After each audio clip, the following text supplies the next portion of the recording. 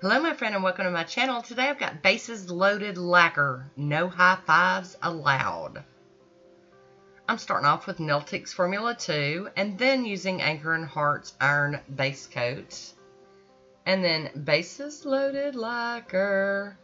No high fives allowed.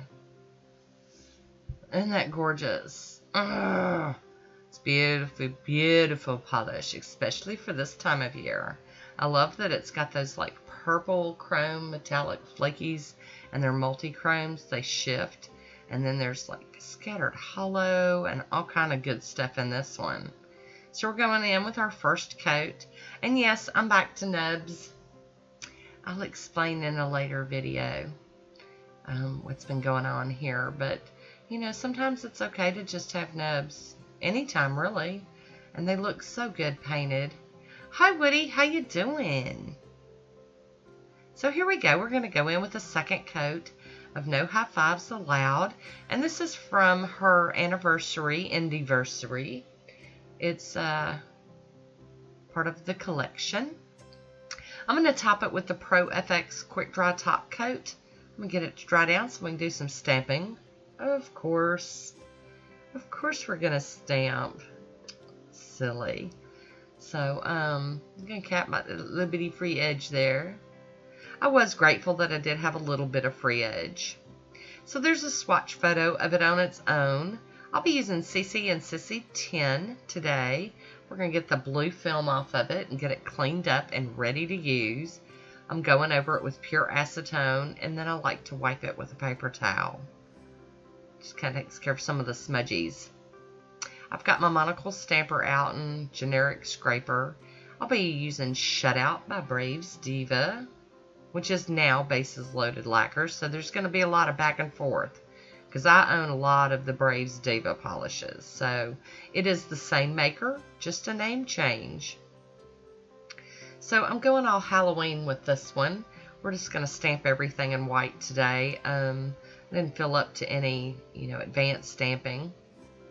We're going to clean that off on the lint roller real quick. And I'm not going to clean the plate. I'm just going to move around and pick up different images. And I'll clean the plate at the end.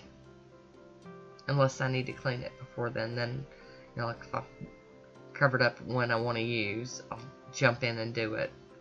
I'm using that little piece of tape to get up the excess that I do not want stamped onto my nail. So we've got a little bat and moon and star. That's cute. And then we're going to do with this ghosty looking face. Big stretched out. Oh! That's crazy.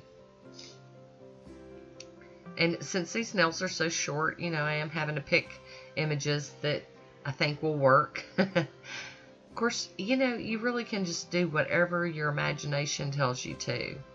There are no rules. Okay, I don't think that's... Yeah, I'm going to have to clean that one off. That one I scraped too hard.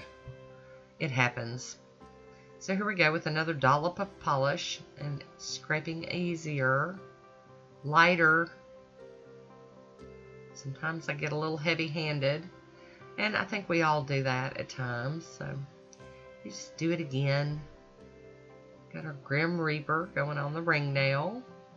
And then we get to do one more. I think I'm going to do this little jack-o'-lantern.